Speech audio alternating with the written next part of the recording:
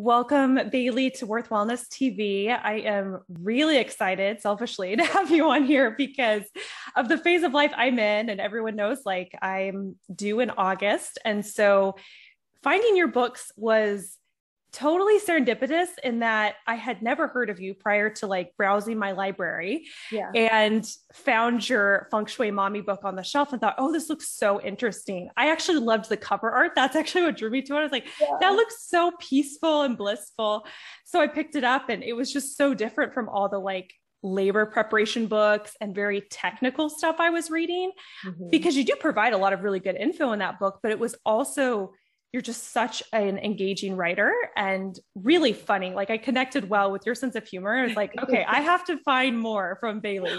So welcome to the show. I think the viewers are going to love it just as much as I do. Oh, well, it's my pleasure. Thank you for having me.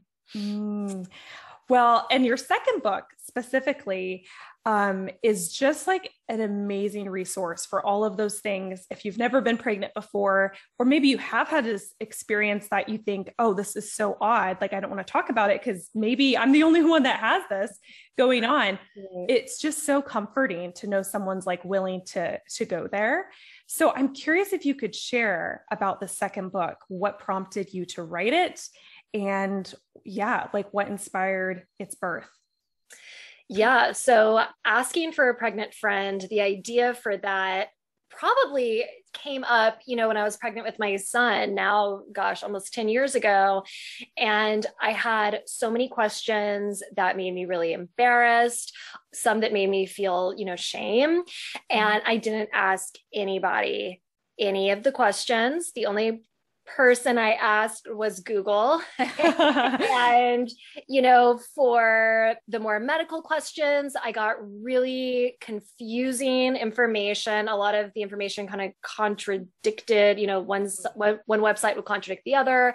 And then for the more, you know, emotional, social questions, really the only answers I found were on like chat rooms and that kind of thing. And the answers, the information was really judgmental and just intensified that shame. So I felt, you know, really alone. I kind of just shoved all of the questions down. And then, you know, when I was decide when I decided to get pregnant with my daughter, which took a long time, but during that process, you know, our, our culture had shifted you know more taboo topics were, were coming out into the light there was so much more acceptance around that and i figured okay well we need to do that for the topics around pregnancy childbirth early motherhood Mm-hmm. So I took, you know, all those questions that I had had, and then all of those questions that I had received from parents over the years from teaching childbirth preparation, from being a doula, a writer. I've gotten so many questions and so many women specifically, you know, because um, would start it almost always with, I'm really embarrassed to ask this, but. Mm-hmm. And so those are, you know, all the questions that went into this book. And as I was writing it, I decided, okay, if I want this to be helpful, I really have to go there. I have to be vulnerable. I have to share all of my stuff so other people feel comfortable, hopefully doing the same. Yeah, which I think, I mean, you read it and we know, you know, authors a lot of the times share their personal stories. But if I put myself in your shoes, I'm thinking some of these things I've experienced too. Like only my husband has ever heard me talk about it. Like I can't even imagine even telling my sister or my mom, like, which is so weird, especially, I mean, my mom, she birthed three kids, but mm-hmm. like I've never heard any of this talked about by that generation, especially. And I don't know. Yeah, we're kind of in a different world. So around more, I'm not around on a daily basis, a bunch of pregnant ladies with me. So it's just, yeah, it's it's really interesting to try to navigate that. And I am so thankful you were willing to open up about your experience and give women a place to land too. Oh, their pregnant friend so that they're looking yeah. for. Yes, right, exactly. So, can you tell us what you do? I know you're a writer, but what what does it look like for you as far as how you're involved in helping women with birth and pregnancy and all of that? Yeah, yeah. So certainly, you know, a huge part of my job, you know, as you said, is is writing on the topic. You know, I'm write write the books. Uh, I write for different women's magazines, websites about these topics. Um, but I also teach childbirth preparation. So um, I've been teaching hypnobirthing gosh, since my son was about six months old. I've been doing that for a long time. Um, I after I'm a doula as well, so I attend births. And after doing that for a long time, I shifted how I teach a little bit, you know, mm-hmm. after seeing all of the different ways that, you know, women experience birth and all of the different things that can be helpful. So kind of have my own spin on, on hypnobirthing. But yeah, so I would say about 50% is teaching, being with women at births. And then the other part of it is, yeah, writing about all of it and my, and my personal personal experiences. So, with your son, because I know you said he was about six months when you started, uh, when you looked into hypnobirthing and becoming actually certified in teaching that, what prompted that? Did you have an experience with your son in birth that was a hypnobirthing type of experience, or was it very different? Yeah. So my my mom, she actually became certified to teach hypnobirthing about five years before I became pregnant with my son. She um, worked in, you know, fertility, IVF, and oh, and that's something else I totally forgot when I was talking about my work. Um, I also own an egg donor agency that I, I took oh, over wow. from her and her business partner. So I'm in the kind of fertility realm as well, um, Graceful Beginnings egg donation. And so it's so funny how my life has just been following my mother's. Um, talk about turning into your mother. Um, so she became certified and it never actually ended up teaching. She ended up again opening her agency but I became really interested in it. I started using some of the fear release tools, the meditations, and just really resonated with the philosophy. So when I became pregnant, it just felt like the natural fit. Um, and I'll be honest, when I became pregnant with my son, even though I knew about hypnobirthing, I had still been so conditioned to believe that there's no way that I can get through childbirth without an epidural, right? Mm-hmm. Like that's what mm-hmm. everybody tells me, the one exception being my mom. And so I went into the childbirth prep thinking, like, okay, I'll practice all of this, but it's probably not going to let me have an unmedicated birth. Like, let's be honest. So I, you know, do really lean into all of the, you know, the fear release, all of it. And I will not say that my it was a hospital birth with my son. Um, I will not say that it was free of any discomfort, but I was able to have an unmedicated birth because because of hypnobirthing. You know, those tools, the techniques that I learned in that class, I feel is absolutely what gave me really the mental strength you know um, to to move through that process without the medication. And i and i tell women that take the class it's like look this is not just for women that want an unmedicated birth. All of these tools they help you stay calm regardless of if you need pitocin an epidural even a c-section right um, so again, it's not just for the unmedicated birth, but I was a believer after I had the experience myself. And I think my son was about four weeks old when I started researching how to become certified. I just um, loved it. And that passion just snowballed into what, what I do today. Mm. Thank you for sharing that because I I think maybe even just a couple years ago before I dove r- deeper into meditation and personal development and all that kind of more spiritual type stuff, mm-hmm. I I would have been kind of one of those people when I heard about like a hypnobirth or like, first of all, it was really on the fringe. So you didn't really hear about it, but a couple stories you might maybe heard, it's kind of like, yeah, yeah, right. You know, it's kind of like, you just yeah. questioned it. Like, can you really be serious? Like what, what's really happening?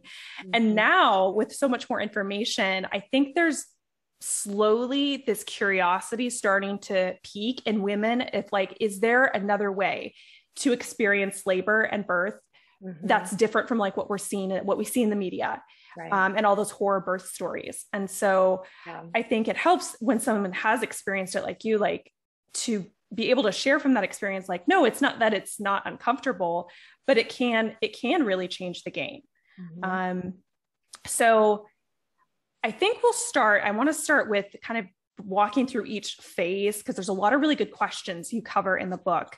And we will get to more birthing questions because I have them for sure.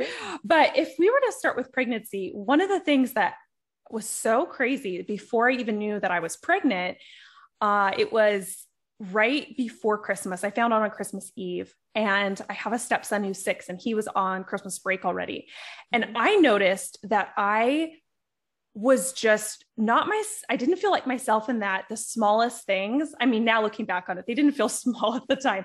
Yeah. But like I just felt like a rage monster. I felt like I was so angry and like I am not a yeller and I just like lost it the whole week when he's on Christmas break.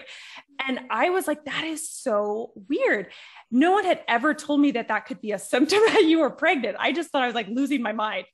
So I I love that you talk a lot about like the emotional experience as well and I would love if you could kind of talk speak to like what is going on for women in that and what are some of the strategies we can employ to help feel a little bit more grounded? Because I think there's a side of it that I've enjoyed being pregnant and feeling really like in tune with the emotional experience of life. But then there's other moments where it feels just so intense. And you're like, I can't turn this off, but I kind of wish I could. So, yeah. yeah, could you speak to that question? Yeah, so that that irritability, or as you said, sometimes like we feel like that rage monster. Uh, there's a few things happening. So of course, one of the big things is hormones, right? You know, specifically that shift in estrogen and progesterone can uh, increase, you know, anxiety, irritation, our our moodiness. You know, so so hormones are a huge huge part of that. Um, in addition to that, we're going through a massive life change, right? Even if we desperately wanted to become pregnant and we're so incredibly happy about it, we're still again physically in the moment going through changes we're also looking forward at how is my life going to change once the baby is here if you know we have a partner whether it be you know a man, a woman, whomever, they're going through a lot of changes as well. And so they might be also a little bit more irritating than they usually are, or they might just really easily trigger you. So, and, and, then again, same for children. If you have, you know, your your stepson, for me, you know, my son who was present during my my last pregnancy, you know, there's so many personalities that are tricky enough to navigate, right? When we're not pregnant, but when we're pregnant, it is so much harder to, again, smoothly navigate all of the, the relationships around us. So, so what to do? Number one, realizing what our triggers are is really helpful. So we can start looking at, okay, what what's happening when I do turn into this rage monster? And and it's okay if it's something that seems insignificant you know if it's like oh when my husband like leaves a sock on the floor or whatever it doesn't matter that that's a little thing you you're starting to notice okay what is it that sets me off and when you see that trigger when you feel like okay it's coming on to just be really honest with whoever you're with it's like look I'm feeling triggered. And even if you do feel like it's their fault, you can say, it's, it's not your fault. It's pregnancy. I need to go uh, take a moment to myself. It's for my my own good and yours as well. You know so again just to be honest about how we're feeling instead of trying to pretend that okay like i don't feel irritated i don't feel mad. It's like well you do in that moment and there's nothing wrong with that. But of course when those triggers turn into an argument with someone we love or treating someone we love in a way that doesn't feel good to us it just makes us feel worse it makes them feel worse. So again, to say I'm feeling triggered, I need some alone time. That's a big one. Mm-hmm. And the obvious one that, you know, we always talk about, but just that self-care, right? You know, doing everything you can to sleep at least somewhat well, which can be hard when we're pregnant. Uh, you know, the eating well. Um, a really easy thing is drinking lots of water, but especially when you feel triggered, because those stressor hormones that start to flow through us when we feel triggered react to water. So when we are drinking lots and lots of water, we're helping to even flush out some of those stressor hormones. And then mentally, you can tell yourself, every sip of water I take is is minimizing my irritability is is helping to wash away my anger you know so it can become that you know have a mind body connection with drinking that water so really simple little things like that but mm-hmm. recognizing and, and telling yourself every morning, okay, these are a few things that I can do when I feel triggered, and then actually working the plan.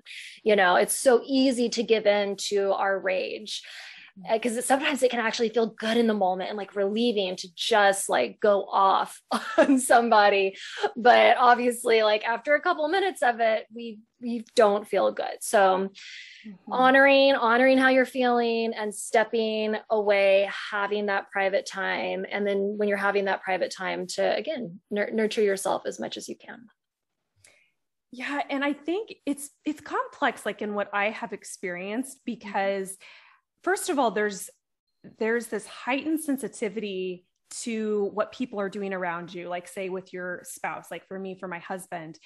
And I don't know, beforehand, I would have probably let I was just more the personality where I would bury things deep mm-hmm. until it just kind of became like too many things. And then I, you know, unleash like sort of thing. Yeah, totally. But since I've been pregnant, I feel like there's this maybe it's because there's so many emotions.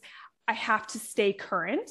And mm-hmm. so it can feel like I'm always there's always a problem like with my husband like right. i'm always bringing up something you're doing that's wrong because i'm like super mm-hmm. sensitive and now everything's wrong mm-hmm. so i mm-hmm. think that's kind of also i think finding that balance of sometimes maybe it is just you need to take a step away and take a break for yourself mm-hmm. and then other times navigating those conversations because I also feel right. that there's so much, there can be a lot of pressure on the relationship because all of a sudden, what worked maybe for the two of you, now mm-hmm. you're thinking about how is this going to work if he keeps doing this or whatever once we have a baby? Like if it's, right. if we perceive that they're not considering us mm-hmm. or the baby or things like that, right that can make us then afraid like we've partnered with this person but you know what kind of father are they going to be like it's really easy to go there so how right how would you say someone uh, would be helpful for someone to navigate that balance between knowing when it's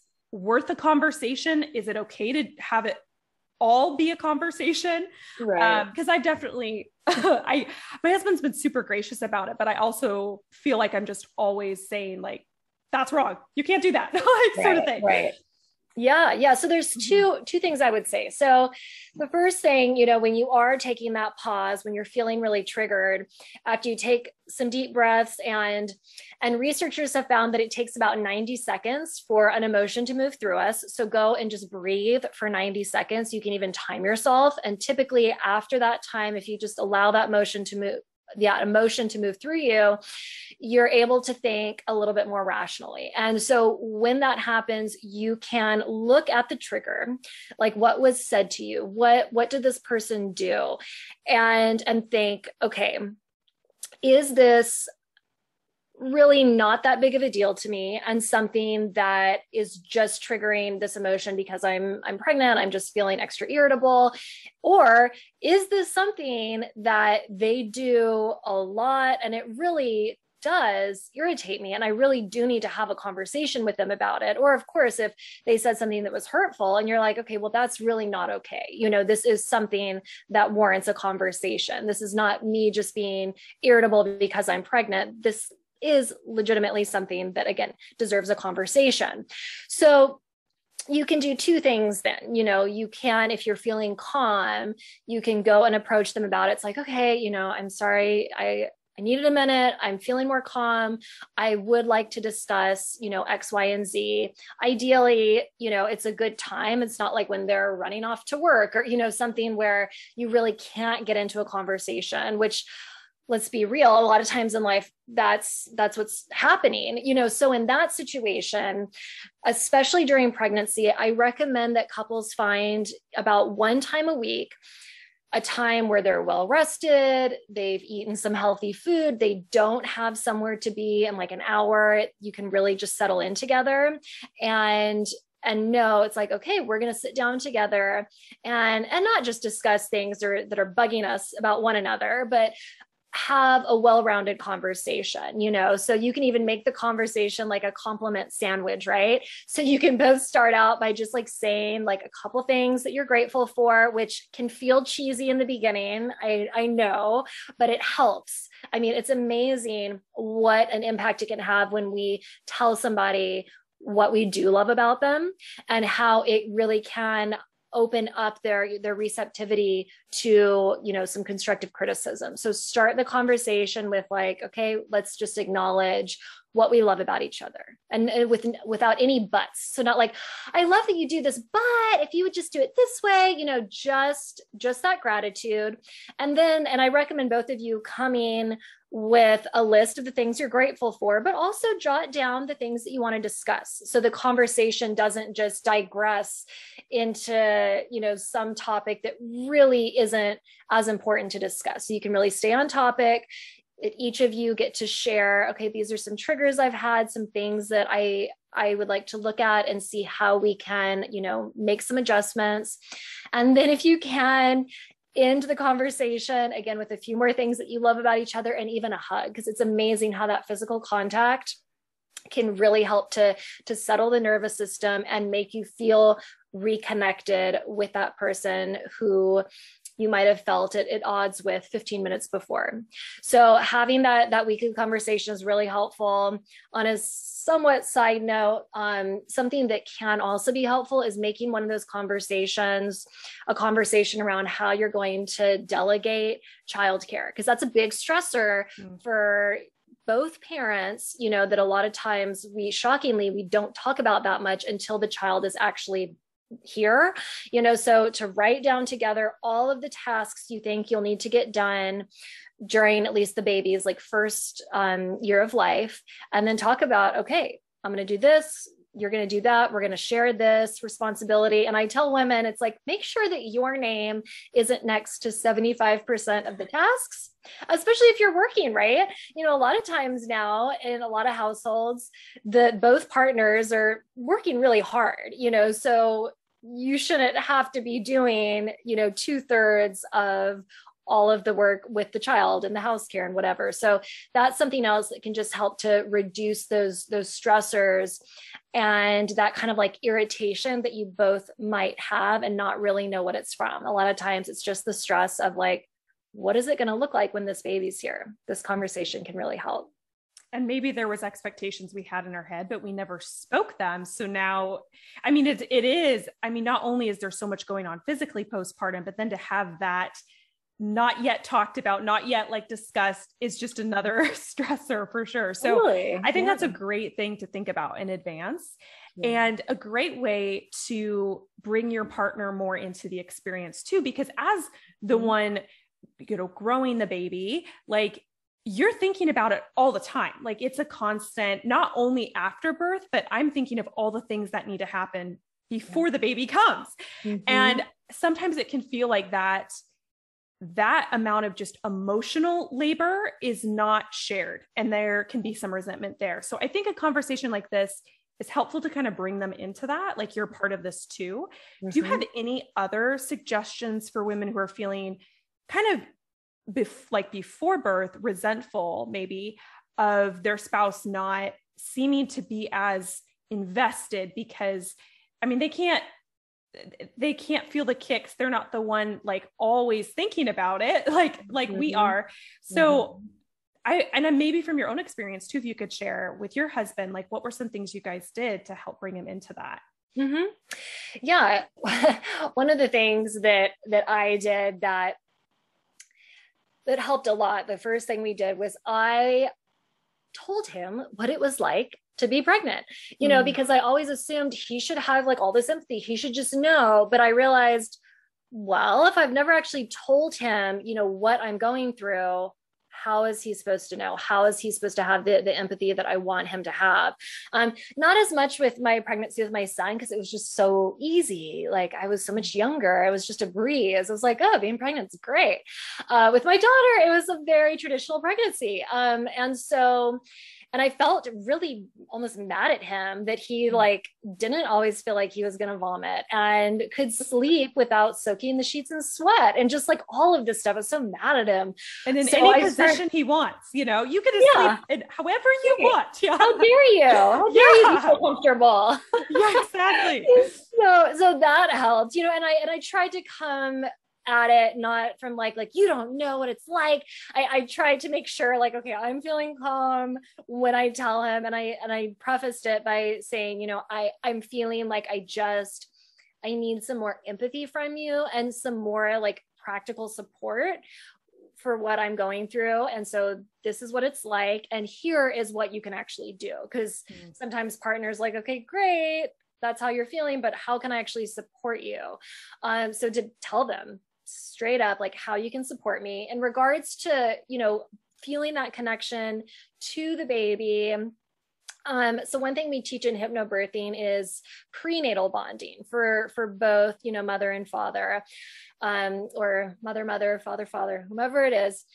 And one of the big things is and, and it sounds so simple but just that that daily connection with the baby. So to have both parents you know come together sit on the couch have the partner you know touch the belly talk to the baby.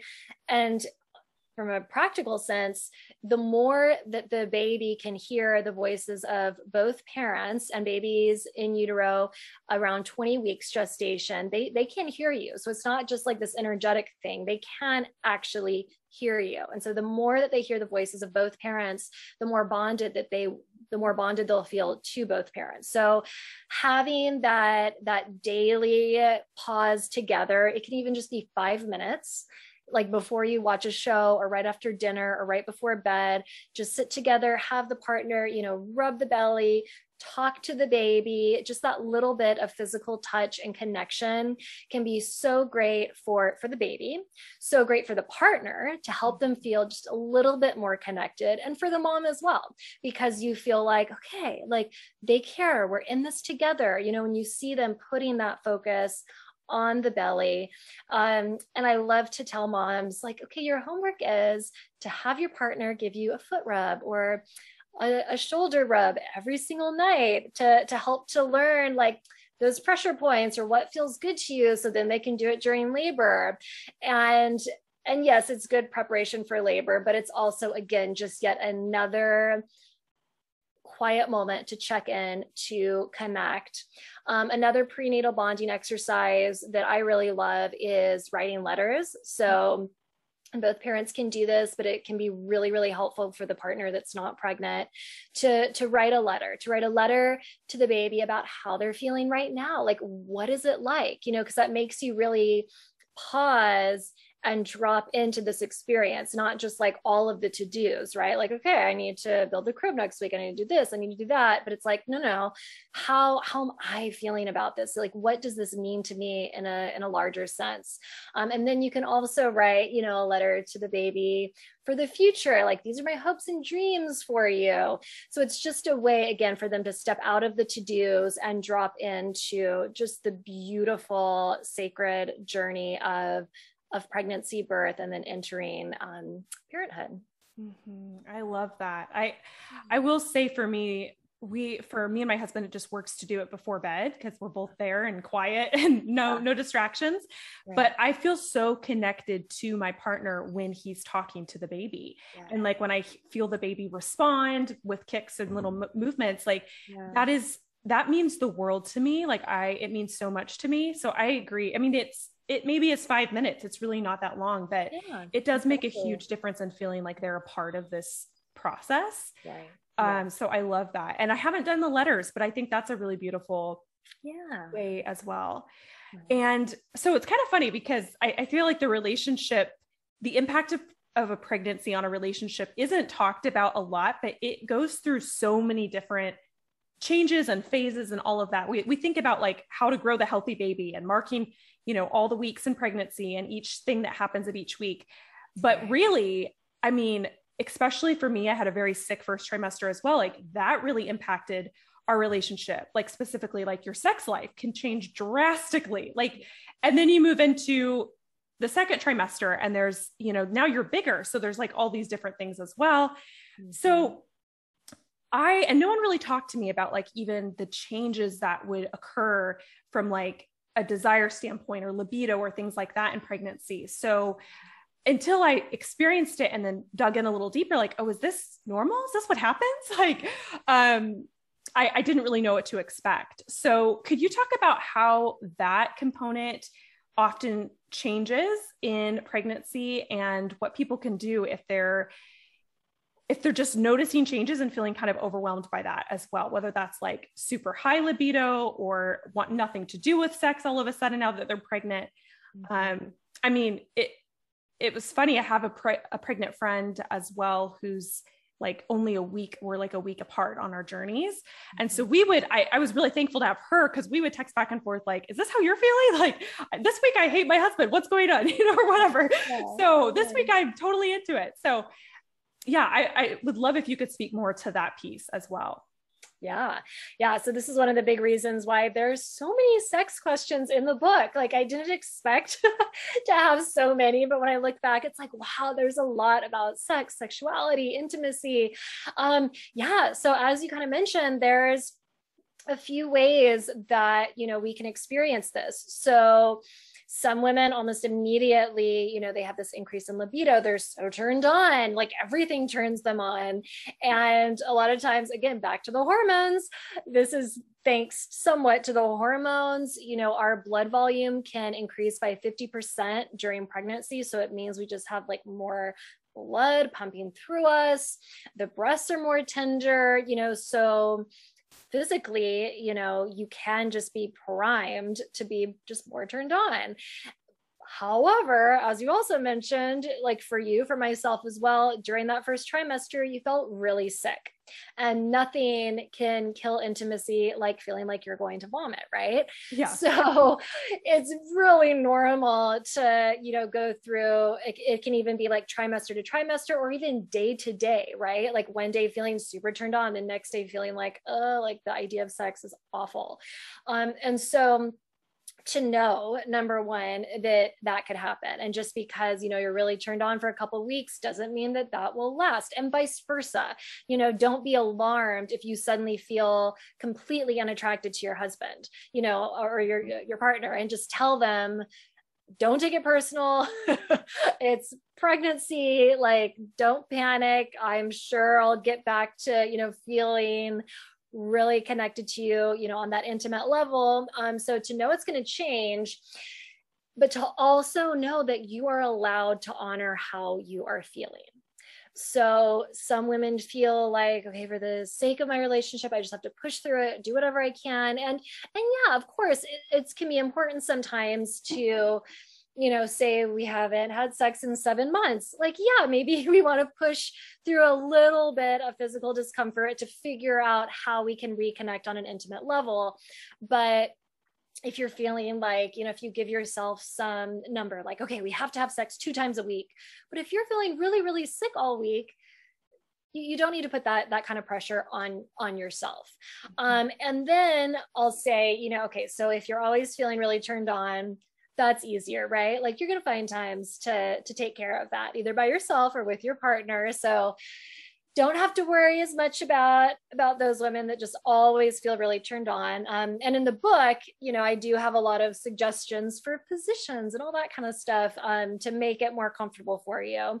But for the women that are feeling so disconnected from their sexuality and so uninterested in in sex with their partner and they're feeling not great about that. They're feeling like i i would like to get back to to that connection. Um to start to get creative and experiment with what feels good for me now because your body is changing in so many ways and even postpartum. What felt good to you before you were pregnant might not feel good to you anymore after you've had a baby. So to just start to explore again like new positions new way of being touched you know maybe you need to spend a little bit more time in the beginning just fostering that kind of emotional connection with your partner. Mm-hmm. so to just get curious and and to know take heart that you will find your way back to having this really beautiful intimate relationship but it just might take some trial and error and it might take some time. So don't beat yourself up if you have kind of this like awkward sexual encounter with your partner and you're not destined to to have a life of those. Like you're just finding your i don't even want to say your new normal but um just like again the new things that excite you that that turn you on and to mm-hmm. build build on those mm-hmm. it, yeah i think for myself, it was definitely this I didn't want to force it to have some sort of like, I don't know, I didn't want to have that association with it. So it was, it was better for me in the first trimester to just let it be very infrequent. Yeah, and, cool. and, and, and my partner was like super okay with that as yeah. well. And I, I think the honoring what you do feel and then but if you do desire for it to be different do a little bit of exploring because maybe there is something you can come to that feels that still feels good right. um, and honoring that so yeah, I think that's a beautiful. And to be clear, neither me and my friend hated our husbands at any point at this, but it's like that extreme, like one minute you feel this, one minute you feel that kind of thing. Right, like right, just right. so, so normal to, and, and helpful to normalize, like you're not alone in feeling that as well. Um, so going into birthing questions, if we kind of follow follow the journey, yeah. I would love because I know you work a lot with women with hypnobirthing, yeah. and I had heard of that, and then more recently, this whole like huge conversation around this idea of orgasmic birth yeah. came up, and I I've heard a lot of hypnobirthing techniques are a part of it. So I'm I would love if you could kind of explain how they're different, how they're similar, and like what it even is. Because when I first mm-hmm. heard of it, I was just like, what? What are you talking about? That just sounds crazy. Like, are we actually having orgasms while giving birth? How is that even possible? Right, right. Um, the other thing I think is so crazy about this is I'm reading um, one of the, I can't even think of the title, but one of the main books that you can read on this uh-huh. is how, like, do you, tell people you're doing this? Like i mean i'm like i don't know that this is something people like a lot of the people in my space because i was i was grew up so conservative and all that i don't know that they could even handle if i were to yeah. tell them this is my birthing approach. Like yeah. what? Yeah. so horrified. So thankfully my partner is on board with it but even that i wonder if for some women their partners might be like what are you talking about? Like that is so crazy. So could you dive into that? Help help us understand. Yeah yeah. And um and I'm so lucky. I feel like I'm so much more knowledgeable on this now. Um, so Deborah Pascali Bonaro, who's the one that created the documentary Orgasmic Birth, she wrote the book on it. Um, she has become, you know, um, somebody that I, she's not like a close personal friend, but I was able to interview her, vice versa. Mm. Like I've gotten to, you know, really get deeper into her amazing knowledge about this. Um, so I feel so lucky about that. And I wrote about it in the book, which really, really helped me educate myself because yeah, same thing. I was like, yeah, right. Nobody's having an orgasm during labor, whatever. Um, and so when I dug deeper into it, so if you're thinking about orgasmic birth in that more literal sense, right, that like somebody is literally having orgasms during birth, um, it is possible. It is possible. There is like a small percentage of women that do actually have orgasms during birth. Um, and I will get into like how to increase your chance of that happening, but to also know that some of that is also just genetic. Like some mm. women, it's just a little bit easier for them to have an orgasm. And some women experience pain and pleasure a little bit different than than most of us. So the thing with an orgasmic birth it's like this this woman is kind of like vacillating between pain and pleasure. And she uses you know a lot of the tools that i'm going to go into to like tip into pleasure. But a lot of times because of genetics she's already a little bit more predisposed mm-hmm. to be able to tip into pleasure. So i tell people that so they don't think I did all the stuff that Bailey told me and like I'm not having orgasms. And what I tell those women is okay, just because you're not having orgasms, it doesn't mean you can have an org doesn't mean you can't have an orgasmic birth. And what I mean by that is the way that I view orgasmic birth is a birth that is filled with purpose and passion and some pleasure. It might not be an orgasm, but you're feeling pleasure, at least in parts of it. And I also like to note that even if a woman is having some orgasms during labor, it doesn't mean that she's not having any discomfort. Mm-hmm. You know, mm-hmm. she could have one contraction that is incredibly intense in a not fun way, and then 20 minutes later have an orgasm. So it's not just either or, either you're having mm-hmm. a lot of pain or a lot of pleasure. You know, a lot of women are kind of flowing between the two. And so, you know, how how to prepare for that kind of birth. So you asked a while ago like how the two kind of relate like hypnobirthing and orgasmic birth. So they complement each other really really well because hypnobirthing is all about reprogramming the mind to think of birth in really beautiful, positive terms. So, mm. our culture, sadly, a lot of times fills our mind with really fearful, really inaccurate ideas about labor, when the reality is, is that for a lot of women, it's a very normal, natural, organic process, um, albeit sure one that we're not experiencing all the time, which is why it can trigger, you know, that uncertainty, that fear.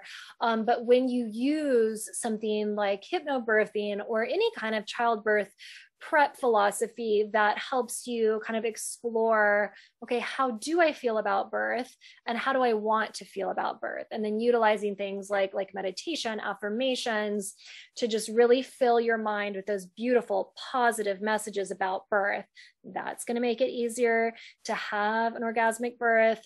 Also utilizing the tools that you learn in a childbirth prep class like something as simple as breathing mm-hmm. getting into comfortable positions, doing everything you can to make your body as comfortable as possible.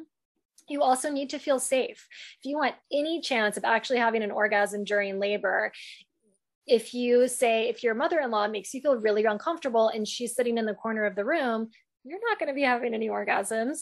So, to give yourself permission to say, you know, during labor at different phases, like the only person I want in the room is my partner, or I, I need total privacy. And for some women, when they need that, I help them go to the bathroom and they just sit in a dark bathroom which can actually be really soothing for for a lot of women. Um, and then the last one which won't be a surprise and this one is one that can make when i say it some women are like oh no i would never do that. Um, clitoral stimulation right? It's the way a lot of women have orgasm orgasms normally. And and they're like yeah but it's like i'm giving birth. Like isn't that weird to like combine the two? And okay look your your baby's not going to know what you're doing. And and i tell women to think of it not as some sexual thing that you're doing but as a way to release endorphins in your body. So mm-hmm. you can just shift how you think about that action into this is just like a really effective pain relief tool for childbirth which it which it is. And you don't have to tell anybody. You don't have to tell a soul that that's what you're doing. You can go into the bathroom and just try it. Just see like does this like release some endorphins in me? If so great. I can keep doing this for a little bit. You don't have to tell your partner again your baby doesn't know your baby's not going to tell anybody so it can be just this you know very private mm-hmm. thing that you do but that honestly is probably one of the most effective tools for having an orgasm during during labor mm-hmm. I think that is super helpful and realizing it's not going to probably be all one or all the other, like all pain painful, all pleasurable. Even if you are aiming for an orga- orgasmic birth, you mm-hmm. probably will like it's you're not doing it wrong if you're fluctuating between the two. I think that's helpful um right. to just like not expect of yourself something that may not be like realistic. Yeah. um as far as preparing do, do you think there are things that directly because i haven't even had i've never given birth before so i'm asking two for myself. Yeah a lot of I hear people talk about how you can't actually prepare for birth because you don't know what it's going to be like and everybody's experience is so different. Yeah. But then here we have all these things like you sh- you should do to prepare to have the kind of birth you want. So yeah. like where's what kind of things are actually like should we be practicing certain sort of things that will directly translate or is it kind of just we're practicing all the tools and we hope we're able to utilize them in birth. Like it's kind of like we hope for the best. Is that really the best we can do? Yeah. What are your thoughts on that? That's a good question. So, okay, one of the one of the first things that I tell people in my classes, it's like, okay, if all that you learn in this class is how to breathe deeply, then your your birth is going to be like 95% easier. So, breathing honestly is one of the the best things that we can do. And it sounds like easy right? When we're just sitting here not giving birth like yeah. Birth is easy. Um when you're in labor it, it's a little bit more challenging. So so you know and finding a childbirth prep course that you resonate with or some good books that you resonate with and actually practicing those tools that's really helpful because then you're going to learn probably a couple of different breathing techniques. And so i tell women practice those like find breathing techniques that you that feel good in your body and do those as much as possible just to program yourself to start taking deeper breaths especially if you're feeling uncomfortable like if mm-hmm. in your first trimester you're, you're feeling really nauseous practice breathing through that discomfort. If you stub your toe, practice, you know, sure, you can like drop some F bombs, but then start to take some deep breaths, you know, so really lean on that. Breathing is key and not just thinking like yeah no i know how to breathe deeply i'll just do that when it comes but no really start to program yourself now and to set the intention that when I'm having those contractions, because I have seen women do this and it's so natural. When we first start to have stronger contractions, we actually like kind of hold our breath and literally I've seen women like lean away from their abdomen. And that's what we do a lot of times when we experience something uncomfortable. We're like, oh, ow, that hurts. But instead to like literally like lean into it, to lean forward if you can and force yourself to breathe Mm-hmm. That is one of the most effective ways to really like burst past that wall of discomfort and and find some relief so breathing is a mm-hmm. huge thing something that i teach in my classes i think i wrote i did i wrote about it in both of my books it's called the perineal tissue massage and this is it's not really a massage it's more of like a perineal stretching exercise because it can be a little uncomfortable, but it's so effective. So essentially, you are helping the perineum to become more elastic. So you're not just like stretching it, but you're helping it learn how to be more soft and flexible. So as the baby's head is coming out, that area where you know if we're going to tear it's in it's the perineum that that tears during childbirth. And doing this perineal tissue massage significantly reduces your chances of tearing or at least of having a, a significant tear. And it can actually make that phase of labor when the baby is coming out um, a little bit more comfortable. And it helps to train your mind to believe that a baby can actually come out of me. Because as you become more comfortable with the perineum and you tell yourself, okay, I am doing something tangible to prepare my body for labor. I'm not, I'm preparing my mind, which is great, but I'm also literally preparing my body to have the baby come out. So honestly it is one of the most effective things you can do. I i did it religiously when i was pregnant with my son. I had a pretty like mild tear. I didn't even feel it. I was on no medication didn't even know that i tore. With my daughter I was so busy, I completely forgot to do it. I probably told 25 women in classes when I was pregnant to start doing it, completely spaced out never did it on my own. Um, and granted, with this labor, I had a home birth with midwives, and my daughter came out really fast. Um, mm but I had a more significant tear, and I'll bet it's because I did not do the perineal tissue massage. mm Um, those are two of the the big ones. And one uh, i could go on forever and ever and ever about this but another big one that i want to mention is making sure that you feel incredibly comfortable with your medical care provider whether that be an obgyn a midwife you want to make sure that that person makes you feel really really safe and comfortable because, and I've seen it so many times, a woman has that primary care provider that just makes them feel like they're like a little kid in trouble, you know, like they just have to say yes to everything this um, authority figure is telling them to do, and they don't feel safe to um, speak up. They don't feel empowered around that person. And I understand, I know it is so uncomfortable to essentially like fire a medical care provider during pregnancy and find a new one. I know that this is not like a simple, easy request, but it can make such a big difference to to tune in to how safe you feel with that person if you're like i don't feel that comfortable with them.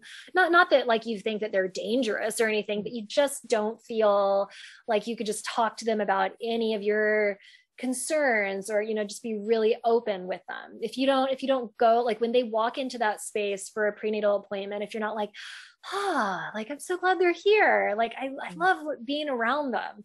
Um and some people when i tell them that like does anybody feel that way with their care providers and i will say yes like i have two midwives for my daughter's birth that like I, I miss them so much mm-hmm. after they stopped coming for the home visits. They became like family. We felt so comfortable with them.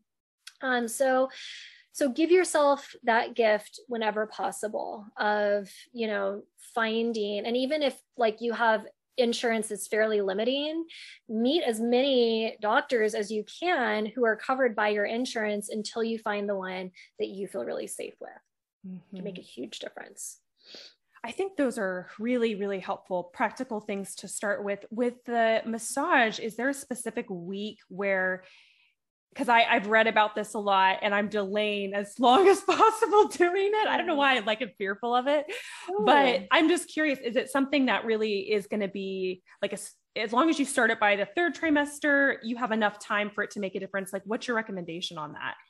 Yeah, I tell women if you can start around week 34, but even if okay. you don't start until week 36 of gestation and you really commit to doing it, like say at least five days a week, even if you're only doing it for like five or 10 minutes, that'll still be really helpful. So I would say definitely by week 36, start doing it ideally every day. But again, even if you can only get it in like five, five days a week, that's great. Mm-hmm. Yeah, th- that's helpful. The other, the breathing, I think, is something that is really practical in all different situations to practice. I I know you've talked about, I can't remember if it was in one of your books or in your videos, the I don't know, remember what it's called, but the breathing that you can do when you're eliminating, because that it just helps you like connect. It's the same sort of process. Like, mm-hmm. and that one's been really helpful for me because I've also had a lot of like struggle with constipation the whole pregnancy. So that is really helpful. Yeah because it's like you want to like almost hold your breath and like bear down but that does not that's not mm-hmm. going to help your diastasis recti situation either at all. So that yeah. has been something i've really tried to like slow down and practice. And i mean something you can probably practice every day. So that has been a perfect like just like to connect it to something i'm already doing. Right. Um so that's another one of my favorites. So yeah. if we if we kind of go into one of the other questions that you did write about in your book a little bit, but with the placenta, I feel like that is left out of like the whole conversation of like, you birth a baby. And then there's, oh, wait, there's what coming next? And like more. Yeah. And I, I also loved and had never heard of um, what you talked about doing with your daughter, which was burning the cord instead of cutting. So could you talk a little bit about the placenta, like what what that process is. I've also heard of lotus birth, which I guess you leave them connected for a long period of time, like which mm-hmm. seems really impractical, but maybe yeah. I mean I'm not quite sure. So what are your thoughts on all of that? Um yeah. all things placenta. Yeah. So so yeah obviously you know the placenta is it's so amazing because when that embryo implants part of that embryo becomes the placenta part of it becomes the baby so it's like mm. such this like beautiful part of the process and so essentially you're not you're not just growing a baby but like fairly large organ. And and so yeah the organ it is attached to the uterus. And after the baby is born the uterus you will continue to have contractions albeit much less intense than the contractions that you had when the baby was being going through the passage and you know being born. So don't worry but you will continue to have contractions and these contractions help the placenta release from the uterus, and those contractions will help to essentially birth the placenta. So sometimes the placenta comes out just a couple minutes after the baby, mm. sometimes it takes about 30 minutes or so, and you have to do a little bit of bearing down um, or that birth breath that you were talking about to to get the placenta out and it's important to know that when the placenta detaches from the uterus, it leaves open blood vessels. So that's why there's a decent amount of bleeding, that vaginal bleeding after you have a baby. Um, but as I said earlier, your blood volume increases by about 50% when you're pregnant. So you have some extra blood to lose. So don't panic. Um, but then as the uterus continues to contract, it slowly closes off those blood vessels out as it contracts back down to size. So yeah, the placenta is birthed. It is still connected, um, or if you're doing delayed cord clamping, meaning that you don't clamp and cut the cord immediately, uh, the cord is still connected to the baby after it comes out. And yeah, I had never heard about um, cord burning until my midwives suggested it. And so, yes, typically, like in the hospital, they will clamp the cord pretty close to the baby's belly button. And then with scissors, you just cut the cord off. Uh, it doesn't hurt the baby at all. The baby's fine.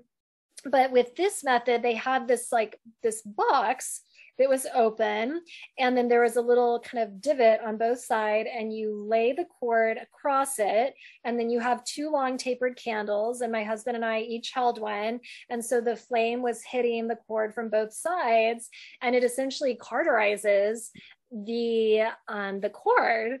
And what my midwives found and i found this to be true they said when you do it that way for whatever reason it can actually cause the cord stump that's attached to the baby's belly button to come out faster. And they think because it's cauterized it just helps it dry out a little bit faster.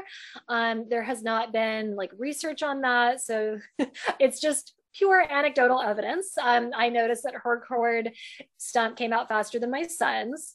So that's a cool kind of ritual that you can do if you're at a birth center or at a home birth in a hospital they won't let you have an open flame so that's not an option in the hospital but it was really special because you know that that cord is this like your main connection to the baby when they're in utero, right? Like the placenta is attached to you, the cord is is attached to the placenta and then to the baby. So it just made us instead of just quickly cutting the cord, it made it a little bit more of a ceremony. Mm-hmm. Uh, the lotus birth that you mentioned, I think like in in China for example in different cultures it's more of a custom where they usually put the placenta say like in a basket and then they salt it mm. so it doesn't get um, rancid.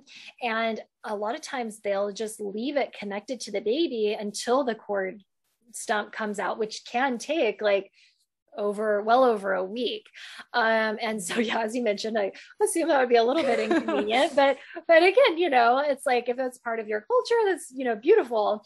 Um, and so the last um, or the i'll mention two other things. Um, so, in some situations, the placenta, for whatever reason, does not come out or a piece of it stays attached. In that situation, a lot of times the, the uterus will not continue to contract back down, and the woman might continue to have bleeding. In that situation, say if you're at home, the midwife actually has to go into the uterus and like get the placenta out, which can be uncomfortable. Um, in the hospital, a lot of times they can do the same thing. In some situations, they would have to do a procedure to get it out, but a lot of times it's as long as they know what's happened, um, they can safely retrieve it. It's just uncomfortable. For me, I had a very weird slightly rare situation happen. My placenta came out, my midwives they checked it, which they always do. Doctors, and midwives, they check the placenta to make sure it's intact. Mine was. Um, my bleeding was subsiding. They they checked your uterus to make sure it's you know um, closing or make sure it's contracting back down to size. Mine was. But for three days after my daughter's birth, I was having they call them after birth pains, which typically feel like menstrual cramps. If you've already had a baby, they can be a little bit stronger. Um, but these felt like active labor contractions. And they would last for like two minutes. Whereas during labor, I never had a contraction longer than 45 seconds. Mm. It was so intense, so painful. And I just thought, okay, well, I'm just having really, really, really strong after labor pains. Three days later, a piece of placenta about this big oh. came out of me. So, what had happened was I grew a placental lobe separate from the placenta itself. So, while yes, the full placenta came out, there was this other essentially like almost like tiny placenta that was still attached. And that's what my body had been working out. So mm. I tell women if you're having, and again, they were watching my bleeding and whatnot, but say if you're having more bleeding than you think is normal, if you're having more pain than you think is normal, please tell somebody, you know, even if it does end up being totally normal, it's best to just speak up. And in my situation, it really, it must not have been that dangerous because my body obviously knew what to do. It was working it out. The bleeding was subsiding. So my body was handling it okay. Um, but I wish I would have said something because maybe my pain could have been alleviated earlier. Um, and then last thing I'll say about the placenta on a positive note, there is a lot of talk about placenta um, encapsulation. Mm-hmm. And, and this is where they take the placenta, um, it is de or first it is steamed and then dehydrated and then it ground up into a fine fine powder and then put into um, pills like it's encapsulated. So you can just take it like a vitamin. Didn't do this with my son at that time thought like that sounds weird.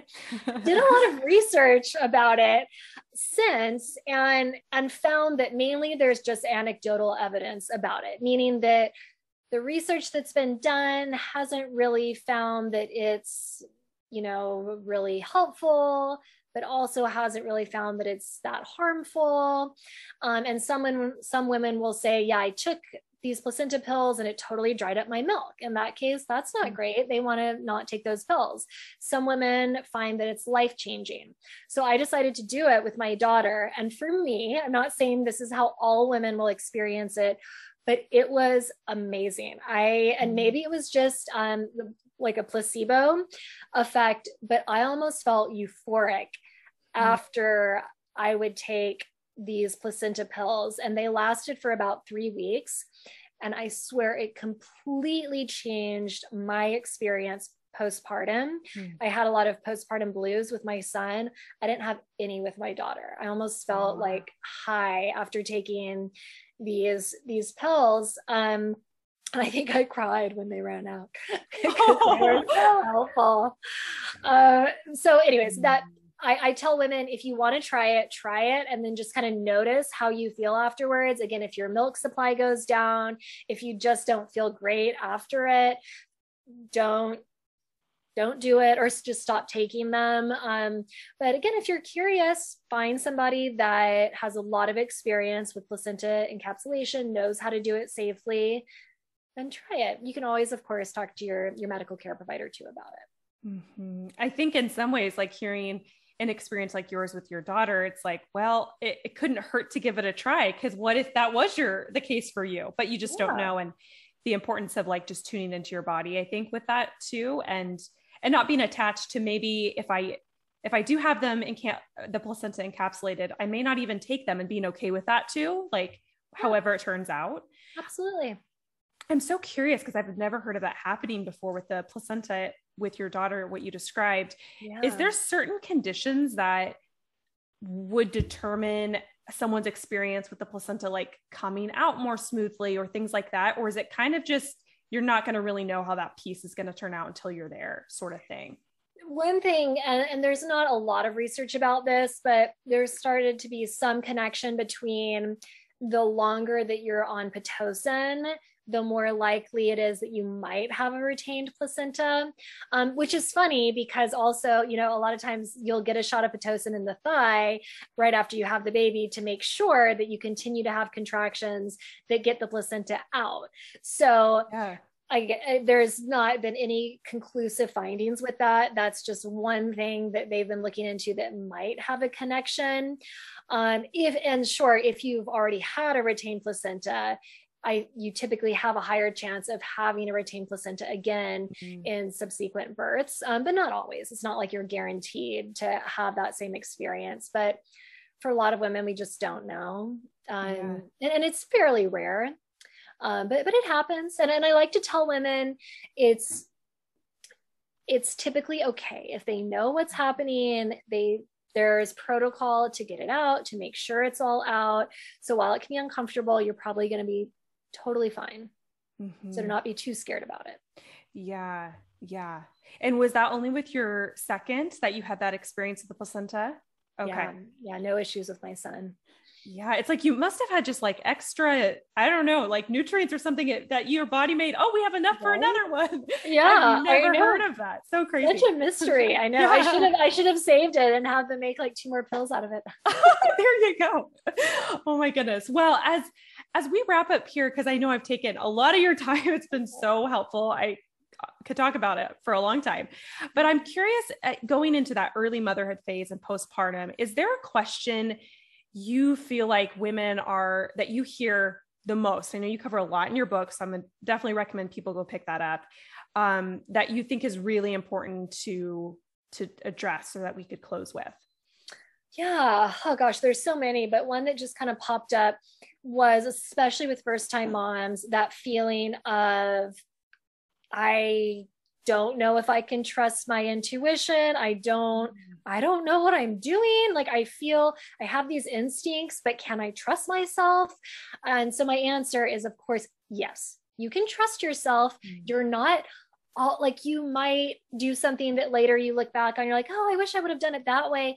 That's okay. We all make missteps, but ultimately, the main person that knows how to care for you and your baby is you. Mm-hmm. And there is absolutely not, you know, a right or wrong way to do it, you know, so to allow yourself, and I know it's scary in the beginning to allow yourself to trust your instincts with something, this little creature that seems so vulnerable. Um, but you are so much better equipped than you realize all mm-hmm. women you you mm-hmm. have those instincts they are inbuilt in you even if you don't really notice them that much even if you're like questioning yourself a lot if you just kind of take a few deep breaths quiet the mind the unique right answer for you will come to you and allow yourself to to trust that and trust yourself mm-hmm. did you find that easier with your second or is it different when you have because it is a whole nother new person. Like, I, did you feel the same in in your postpartum the second time? I felt I felt less hesitant the second mm. time around because I think I knew like okay, I have proof that like I kept this one child alive and like pretty healthy. so I, I, I felt like I was more trusting with my instincts with mm-hmm. my my daughter. And sure, like there were plenty of times where I was kind of thrown for a loop with something that didn't happen with him happening with her.